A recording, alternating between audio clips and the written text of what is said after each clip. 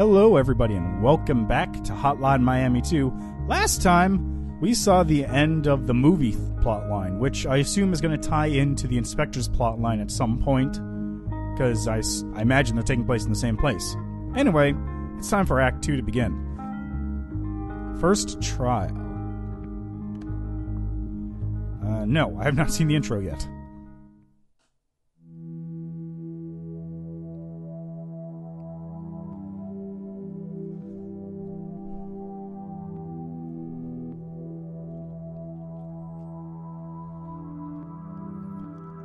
Now, the defendant claims that he was ordered to commit these murders through messages left on his answering machine.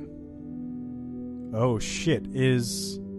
Is a jacket on trial? Did you investigate these claims? Yes, we did. Oh yeah, it's totally jacket. Look, you can see um I really don't remember the big mask, but that's definitely jacket. That's definitely a jacket. That's uh Richard I'm not sure. Is that Tony the Tiger? Pig mask, not sure, and that's just, you know, a gun. And what did you find?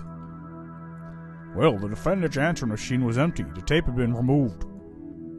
Did you find anything supporting these claims of threatening phone calls? Why are his eyes green like that? No, sir, we did not.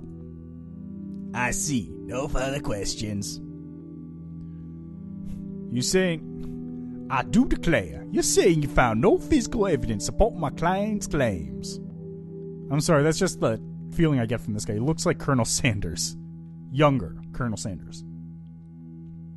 Then what about phone records? Surely the police would have had no difficulty accessing such information. Indeed, we did investigate the defendant's phone records.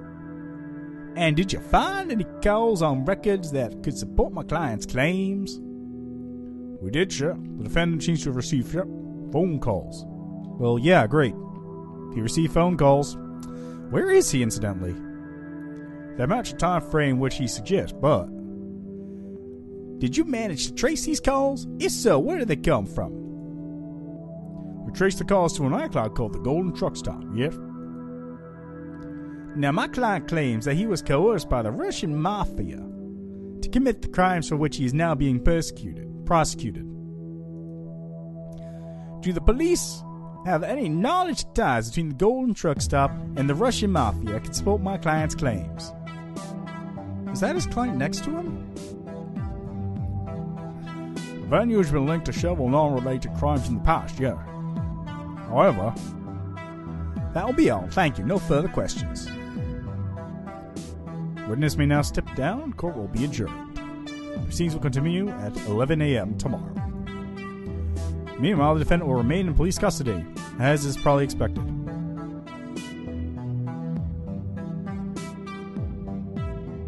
Oh, what?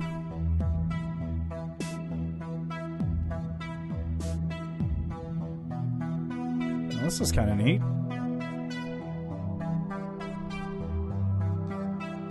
Don't see anyone odd in the audience. Hmm.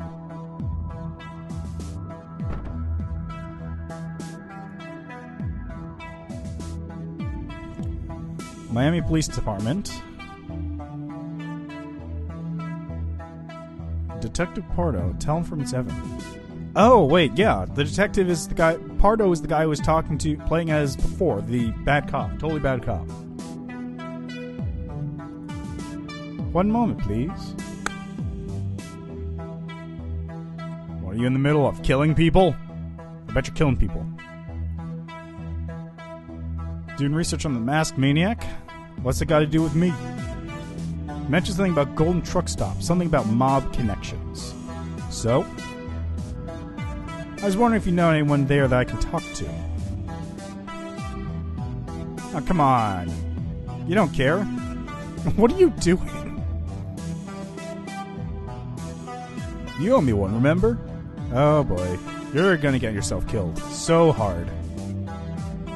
Northwest 37th Avenue, ask for Petrov and tell him I sent you. Can't promise I'll talk, but it's the only name I've got. Don't call me at work again. No more favors. So, where'd I park? Where do I go? Ah, okay. Yep, I'm off screen. I don't know why there was no. What? What? That was weird.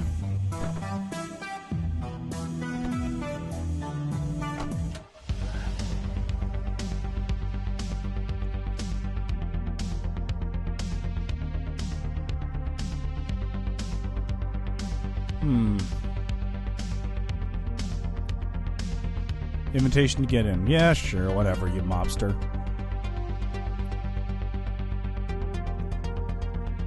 I don't think so. Well, fuck you.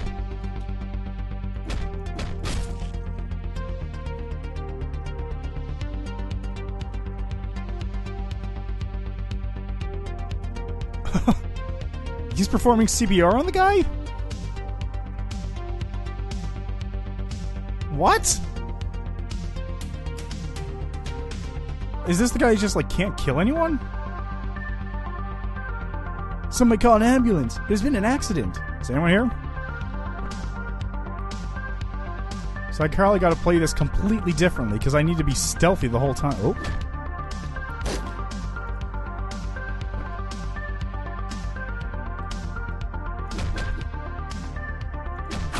Ah, come on.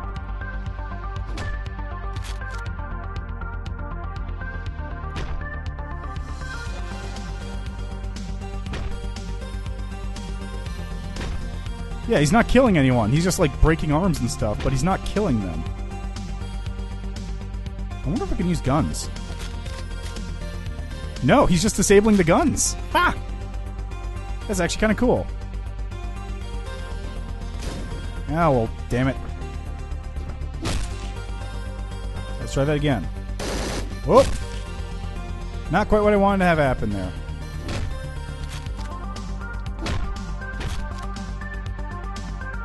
Alrighty.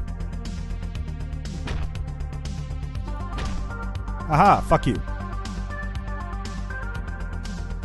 Okay. Come at me, bro.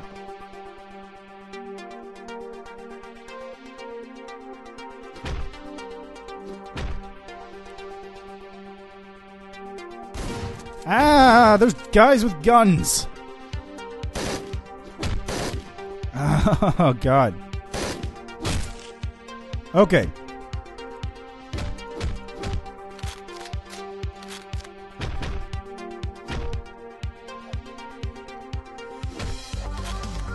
Interesting. I can't use the knife. It's definitely there, but I just can't use it.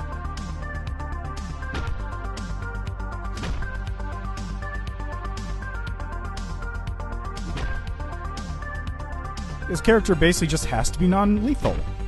That's basically it. Okay, now how do I go about getting these guys over here?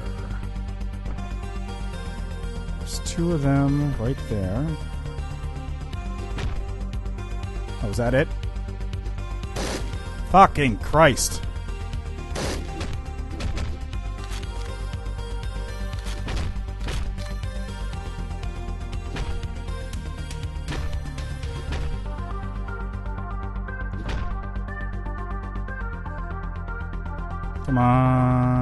Bushwhack.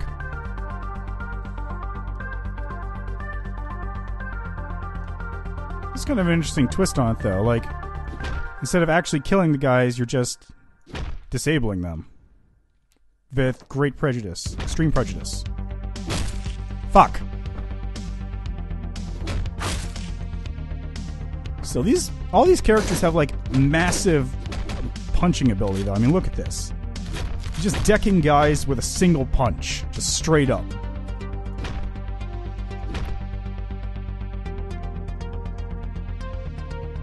Anytime.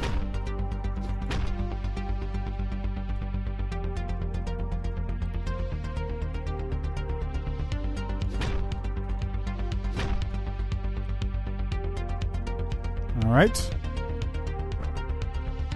Come on. Got it. Alright, that's not too bad. Is that a. That's Hammer and Sickle. What the hell? Who has like a communist symbol right in their nightclub? I feel like that's the exact opposite of what you would have in a nightclub, normally speaking.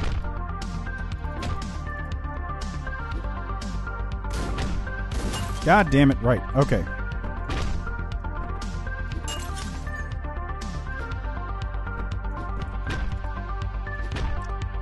Well, that was just kind of dumb.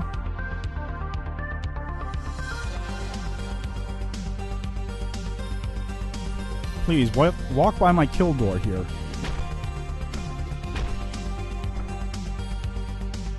Uh, is that? These are tanning boots, aren't they?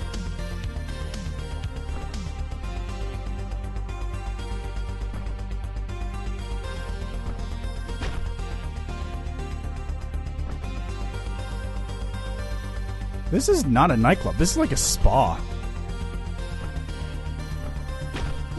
God damn it. Okay.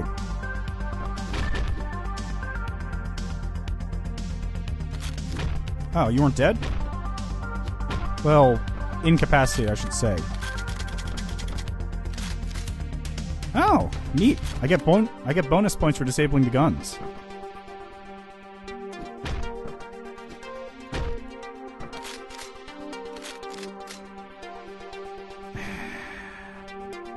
That might have been a mistake. All my fucking weapons are over there now. God damn it.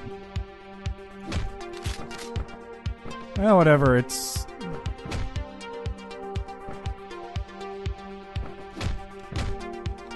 It's almost as good as uh, a weapon, almost.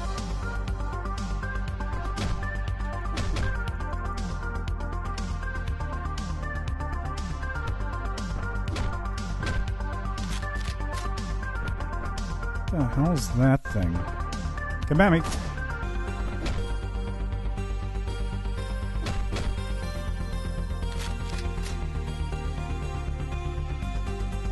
Okay, who else is.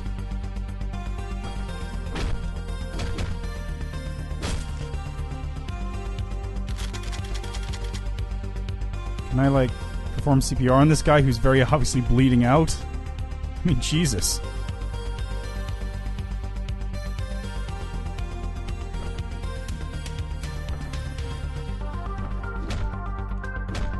Take that. Okay, so. Oh, he's just sitting out in the sun there. So just gonna take out everyone else, or make sure I've taken out everyone else. Yep, that's it, just him.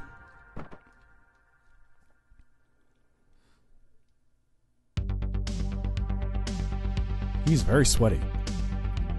Who the hell are you? I'm. Are you Petrov?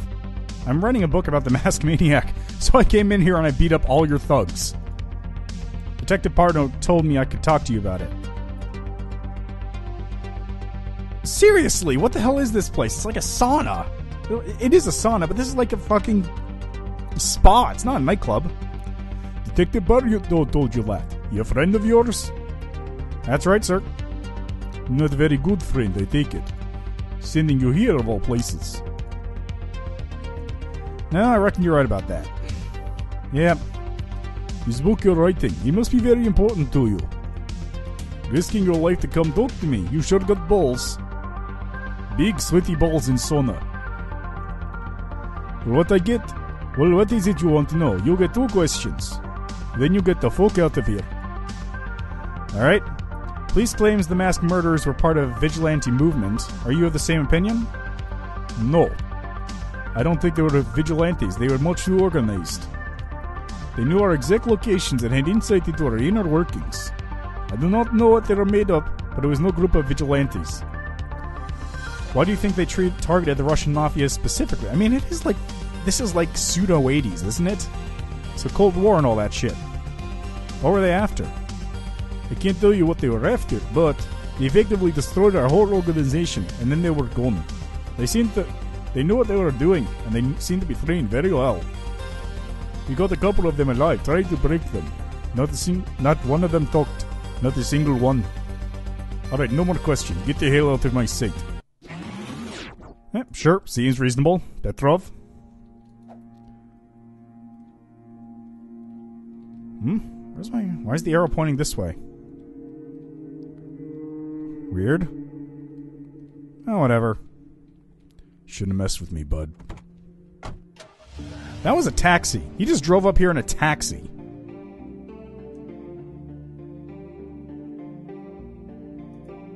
Oh, I didn't beat my score. Oh well. D plus? Eh.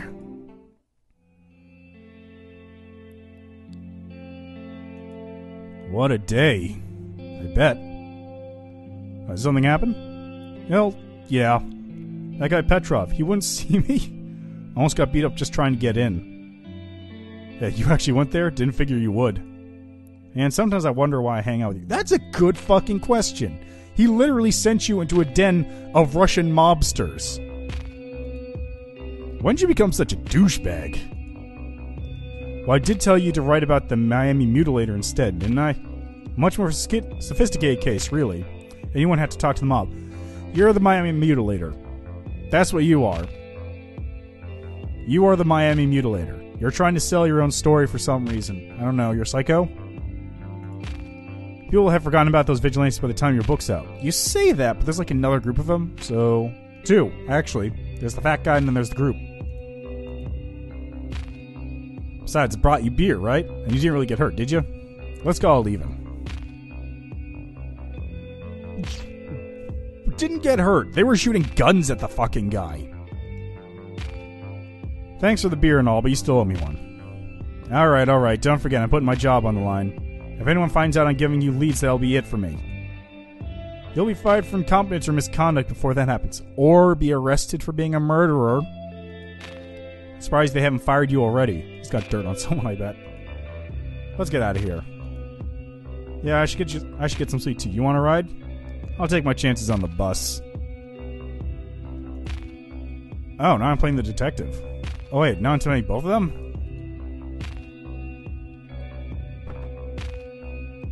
Yeah, you want to? Die? Oh, no, no. Oh, there's the door.